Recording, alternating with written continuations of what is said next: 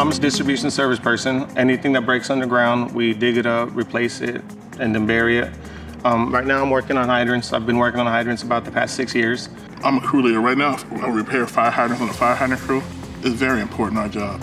We don't repair fire hydrants, we actually, to me, we help save, save lives. My job is extremely important, uh, making sure that the fire hydrants work properly and easily for the firemen. I mean, we don't want them coming to a hydrant when there's a fire and they can't turn it on or it's broken.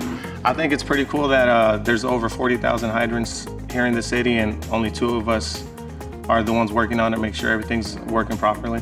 Every day I come in, whether we're doing service line leaks, main breaks, repairing fire hydrants, PRVs, it's always something different. It's always a challenge.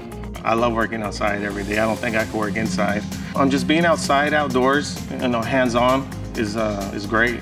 The what I like the most is you're never in the same place. You always get a different scenery. You always meet different people. Me and Gabe have been working together roughly, I say, for about 10 years. Um, it's almost like I know what he's thinking, he knows what I'm thinking.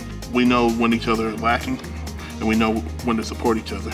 A coworker becomes a friend, and that's always good. You know, we're not just coworkers, we're friends outside of work. There's so many people here, you know, and with, with everybody you have working here, it's like a resource where I can go to engineering if I have a problem. I can go to customer service. I can go to my supervisors. Oh, there's a lot of benefits working here. It, I think this is one of the best companies to work for. If you're construction, you definitely, I think people strive to try to get on with the water district.